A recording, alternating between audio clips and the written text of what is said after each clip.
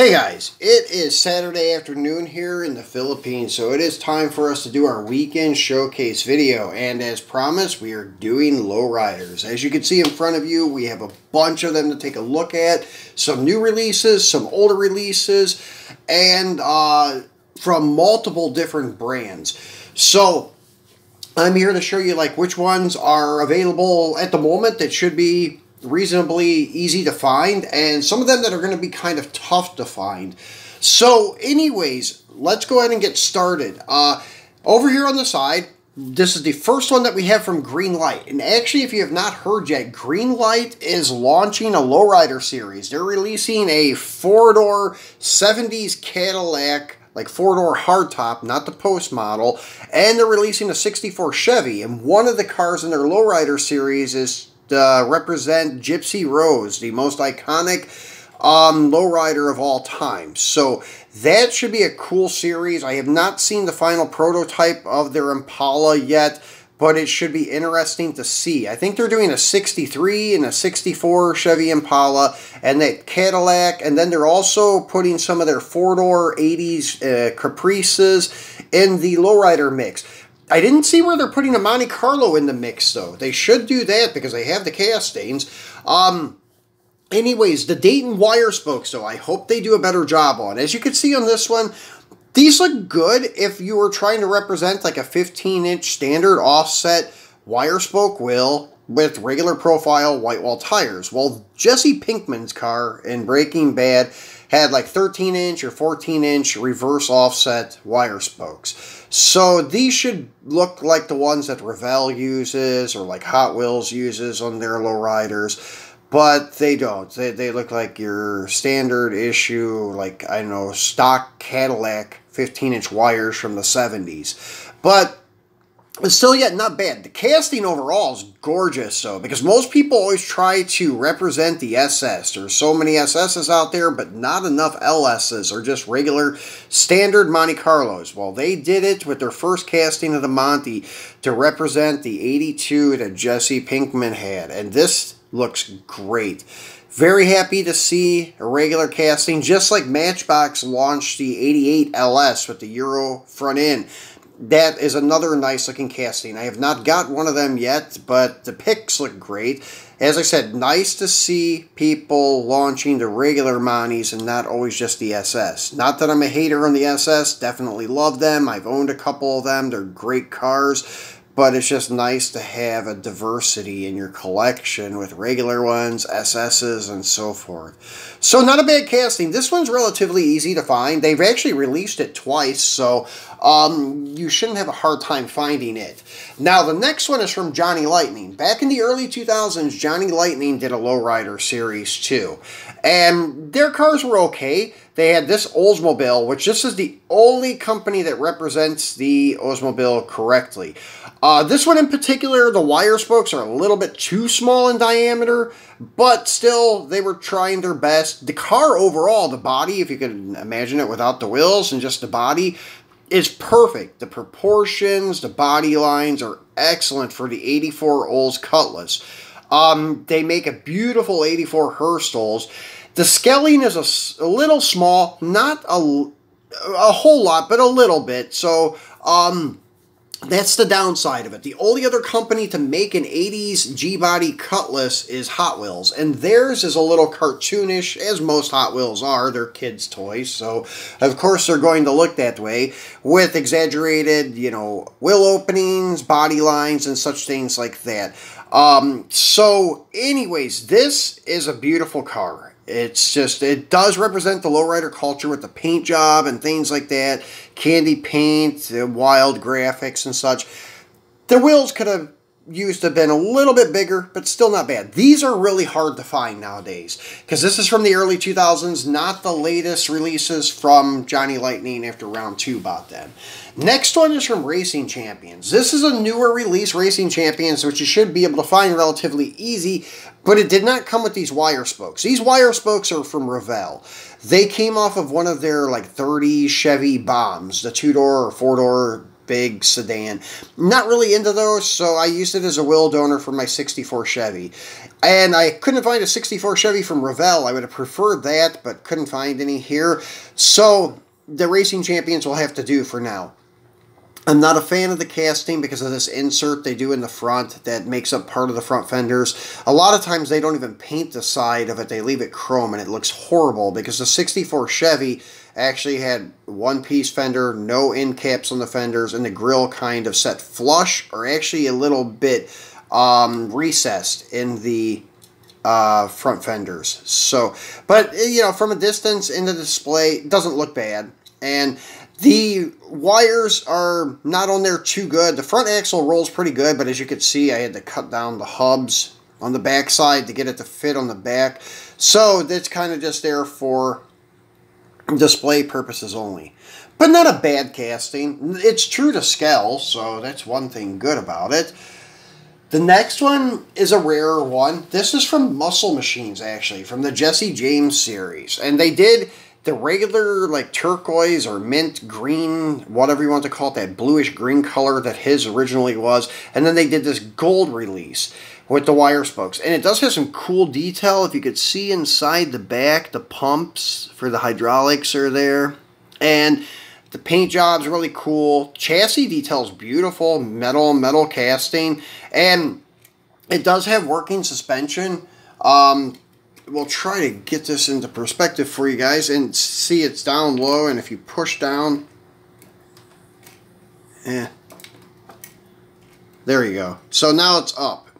So not a, a lot to it but it does adjust. It does go up and go down. So as you can see he is uh, let me move the three-wheel in Monty and we'll put him over here so you can see it a little better. So as you can see that's what it would be up and then there it is down. So not a huge difference, but like maybe two or three inches if it was a one-to-one -one car. So pretty cool. Um, these are harder to find nowadays. Uh, not sure like how hard. I haven't really looked for one, but it is cool detail. Opening hood with the inline six, so pretty cool at representing just a stock two-door wagon. Excuse me, uh, businessman, like or handyman they called them, uh, wagon. And then next would be something to represent the Japan lowrider culture. This is their Skyline van, but as you can see, the low profile, deep dish wheels. Um, this is something that we did back in like the late 80s, early 90s. We would run these low pros with these deep dish wheels, like reverse offset, like 15 by 10s or 14 by 10s, uh, usually KMC type wheels on G bodies and such. That's what that reminds me of, is like our fad back in the late 80s and early 90s in America for like kind of our first like type lowriders. Then came in the early 90s when hip hop music started using the lowriders in their videos. Then that's what grabbed America's attention with the lowriding culture where it became like a trend.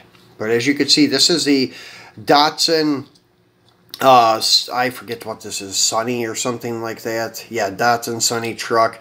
These are really small, and they're made like an El Camino, where everything is one piece. The bed's not separate from the body. Um, really cool looking little truck. It does represent low riding culture. Uh, same thing with this wagon, the way it slams with these low pros. So that's why I brought those out to kind of show you a little bit of like the Japan low riding like look. So pretty cool. Love these wagons too. Looks really cool.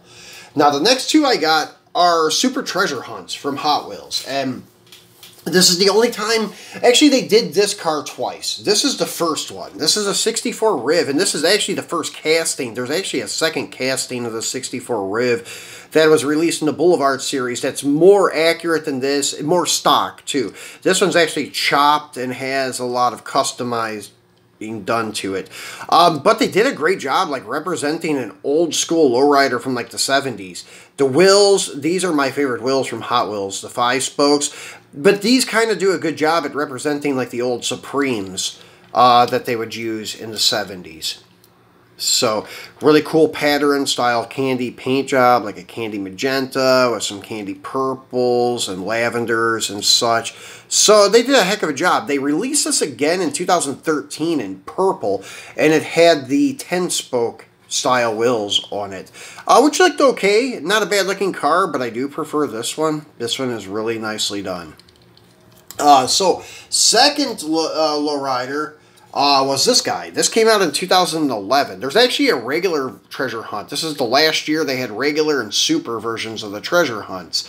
And this one just looks killer. The old boat tail style Riv with all the gold trim, the gold like Supreme style wheels with the white wall tires. This thing just screams lowrider. Um, looks really, really good. So, one of my favorite supers actually Love this car. So they did a heck of a job. Now those are a little harder to find because they're super treasure hunt, so you're going to pay a premium for them. Uh, next one though is easy to find. Uh, this is a newer release from Auto World Mijo.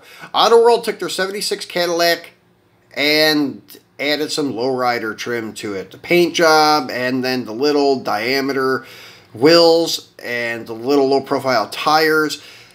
Looks really good. They have the Cadillac uh, also with gold trim. Uh, did not find that one here. Only found this one with the chrome trim. They've taken all of their popular Impalas, Caddies, and stuff and made them into lowriders with Mijo. Only downside, no adjustable suspension, but still just sitting there in a display, they do look great. Um, and then nobody uh, compares to Auto World with like certain castings, and this is one of them. Nobody else even offers this casting, this big, huge land yacht. So, nice vehicle, and as I said, still accessible. And then the ones in the middle here, these are all from Revell. I kind of set it up for looking like they're doing their hopping contest. And what's cool, if you have any of the Johnny Lightning showstoppers or Wheelstanders, that's where these stains came from. And I just put those under it for display purposes. And they work great for making the car look like they're hopping. But as you can see, the Revells have this awesome adjustable suspension. So, and then they also usually have opening trunks that have detailed batteries and pumps but these are really hard to find nowadays, and when you do find them, they're usually not cheap, no matter what model they have. They do have some really cool ones too. They have G-body Regals. Um, they have the 70s Cadillac, uh, like 78 to 87 style Caddy. And if you work with the suspension, but be careful, you can get it to set in three-wheel motion by cocking the axle and getting it to click in. Sometimes it's hard, sometimes not all of them want to do it. And as I said, don't force them because it is just like a U-shaped thing with a little metal bar in it, then it will break very easily. So that's what happened to this Mani here. This Mani is one that doesn't have the opening deck lid. They had a keychain series, and they were model kits that came, and they were keychains, and the trunk was sealed uh, shut. But somebody, the past owner, tried to force it, and as you can see, it broke. So that's why only the rear hydraulics work on this one. And it's very nice, but it's only for display purposes only. So I just set that front axle in there like so, and then that's all she's good for. But the the keychain series did not have opening deck lids, but all the regular series did. And then here is Revell's rendition on the 71 Boat Tail Riv. And adjustable suspension. The only thing I don't like is when it's slammed all the way down, the rear axle sets back too far. All of them were that way. They didn't line it up too good, but still not bad. Uh, and then opening deck lid, even on the boat tail with the pumps and the batteries. And Hot Wheels was very, very close to being true to scale because the Revells are supposedly being true to scale. Hot Wheels did a heck of a job on their 71 Riv, being true to scale. Sometimes Hot Wheels is a little oversized or a little bit too small. Now, to speed things up a little bit, these ones in the back, the 65 Chevys, oh, let's do one color. This comes in purple, comes in orange. This is also from Auto World Mijo, one of the latest ones. Very cool, still available, easy to get. Um, then the 62 Chevy, also, this is both versions, and I'll bring it up because the purple and orange 66s, I should say, not 65s, they're just the same, just different paint colors. Now, these guys are a little different. This has all gold, this has all chrome. So, that's to give you a look at like what the all gold looks like. Like I said, there's a Cadillac, the 76, that's done up the same way. So, then you have your Chase variants, which are really cool because they are a little bit different, not like all the other auto world like Ultra Reds. Usually one Ultra Red serves the purpose of version A and version B, but not with the Mijo exclusives. Every version has its own Ultra Red, which is cool. So the only thing though is the green one that should have all chrome actually has all gold. So some stuff does cross over, but you do have the differences as the green one has the side stripe, the black one doesn't. And then even with your hood pinstriping, it's different for the black versus the green. So pretty cool. And those are a little bit hard to find and expensive because they're the chase variants, the candy red ones, the ultra red, I should say. The black and green ones are not so hard to find. Um, now, moving along to the back row. This is something that lowriding, I don't know, I don't even if I would call it lowriding, but when people started building the donks, the six, late 60s, the 70s, Impalas and Caprices, predominantly like the 70 to 76, um, and lifted them and put these huge 26-inch wheels on them it still, I guess, was supposedly going to represent something to do with low-riding car culture, but uh, kind of strange because the cars are lifted. Um, these are from Motor Max. These are extremely hard to find nowadays. I remember when they were peg warmers, but now they're very desirable and they go for big money. Um, this they did release them with regular standard like suspension, uh, which would be this guy here. Now, this is a body swap, though. This is one of the donks. As you can see, High Rakers, and it is not a high razor. But I took the base from one of the American Graffiti ones that had bad paint, and I slapped on this guy. The wheels and tires are from Hot Wheels. These are the 10-spoke wheels. This is what would have been on the other Riviera uh, Super Treasure Hunt from 2013. But anyways, looks really good, slammed. But these castings are extremely desirable. Now, this one here is actually an American Graffiti body on... Actually, the paint wasn't bad on that one. It was the Caprice I think I had. So this actually is still good. I just swapped the bases. Um, because this is the American Graffiti Series Orange 71 Impala. But I put it on the High Rakers chassis so I could have some diversity with my High Rakers, I guess.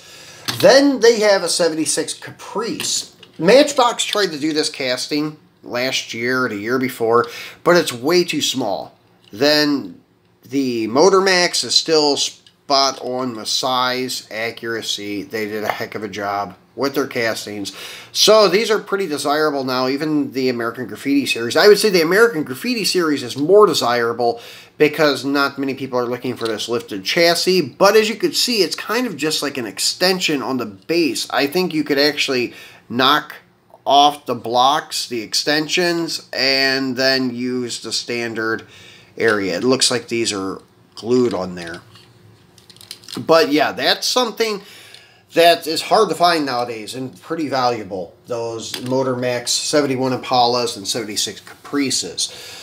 And then moving along, another, it's not a donk because it's a G body, but it's one of the lifted suspensions. This is Montezuma, and this was uh, High Rakers from Hot Wheels. They had the 63 Impala, 2000 Monty, and then Montezuma to represent the um, first gen G body, I call it, even though they just say one generation G body. But the first gen G body Monty, 78 to 80. Um, anyways, this is my take on it. I detailed all of the lights and such, and then I took the wheels and tires off a cool one retro entertainment or pop culture, I should say, car, and put them on here because they had those huge wheels in the back and little ones in the front. So it's not such a good wheel donor unless you have two of them. Then you have a set of small diameters and a set of big diameters. So the set of big diameters were great. It came out the Atari one, and the Atari one was for Centipede, and had green wall tires. So this just worked out fantastic for this build. So looks pretty cool. This is from Hot Wheels. This is kind of like um, the big wheel trend. The car's still slammed on the ground, but it has like 20s or 22s on it.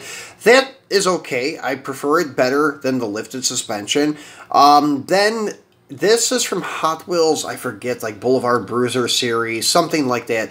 But they labeled all of them as 64 Chevys. These are 63s. Even on the base, it says 63 Chevy Impala, but the packages say 64. So if you have those, it's not an error. They just screwed up all the packages. They did a lot of mistakes, or made a lot of mistakes in that series. Like the Ford Thunderbolts, they were calling Ford Mustangs and so forth. So um, if you have one that's correct, correct, that would be the error. So that's the thing with those. Um, now, moving along, this is the 63 Chevy. I forgot to show you guys this. 63 Impala from Revell. Also, cool functioning suspension. Opening deck lid with the pumps and batteries. Pretty cool. Then I showed you the 61 if you finagle the suspension and opening deck lid batteries, pumps, so forth. Now the Hot Wheels, Monty, that I took out of the picture earlier. This is cool. This is the same base kind of thing that the new RLC one has. But you used to be able to get them at the stores. They're like pivot balls, as you can see, inserted. That's why the Hot Wheels, when you got them jacked up in the air and stuff, they don't look so good because they have this big, bulky thing here, and it takes the whole cross member, the bottom of the engine, everything with it. This takes the whole exhaust in the back. So it's not so good it, it, for chassis detail, and it puts everything too far into the center. So not bad. Um, but it's it's still um, still cool to be able to have adjustable suspension, and from the side, it does look cool, like in three wheel motion. So uh, you can't even see it. so there, like that in three-wheel motion. So it does pretty good from the side view. Um, and it's a lot more durable than the Revell stuff. The Revell stuff is very fragile. Had to be careful. So, moving over to the side here in our last row of vehicles. So, this is just to represent the trucking culture, lowrider culture. So, here is another one that would have been from the early 2000s slammed Suburban, probably air ride with big diameter wheels. This is from Jada's Dub series. These are relatively easy to find, I think. Still, I'm not sure how much they're going for nowadays. But, um, pretty nice casting. Pretty much true to scale, too, for a bourbon. Then, this is Hot Wheels 100%. Love this casting, and it's a beautifully done. And it does have a fifth wheel hidden under the tonneau cover. And you can actually use Greenlight's trailer perfectly with these. And you can just kind of make your own extension, which I've done with a toothpick. And I've showed you guys this in past videos, but I'll show you again here. So kind of just insert that there. And then you have your Greenlight gooseneck or fifth wheel. And then it just is also a female end. Now, let me take it off screen to kind of be able to put that in the hole a little better. It's tried kind of hard to do that looking through the camera. So, anyways, there you go. You get the idea. It is both female ends, and you can use a toothpick, piece of brass to make a double male in, and it works perfectly. So that's another reason I really dig that casting. So that was from the oil can series, the oil 100% stuff. There's also a white and like tangerine two-tone paint job one out there too. Now the next one is a RLC release. They've done two of these so far. A third one is on the way. I think it says red line something on the side of it. But these have functioning suspension. And you just kind of turn the knob and it raises it. And then you turn it again to lower it. This is the RLC first release of this 69 Chevy C10. Pretty nice looking truck. And uh, they have a turquoise one with a white uh, insert, white top, and then there's the red line one. I think it's red and black, something like that, coming up very soon. It may have already been released just recently, but I think it's still to come. Then, last but not least, is the mini trucking scene from the early 90s. This has to be the lowest Hot Wheel that I have. This and the Volvo Amazon wagon. They are slammed. As you can see, the tires barely go past the chassis. And even the chassis, there's absolutely no detail, where Hot Wheels usually has some kind of detail etched in. So it has some ground clearance. But, um, let me try to move a couple, but it does. Oh, once again, got to put the camera where you guys can see it. It doesn't drag, it rolls, but as you can see, you can't even hardly get a piece of paper under that truck. But they do a fantastic job representing the early 90s mini trucking theme. And if you guys remember, there was an S10 that had the convertible top, the top was off of it, with the bed full of speakers that was released from Hot Wheels back in the probably late 80s.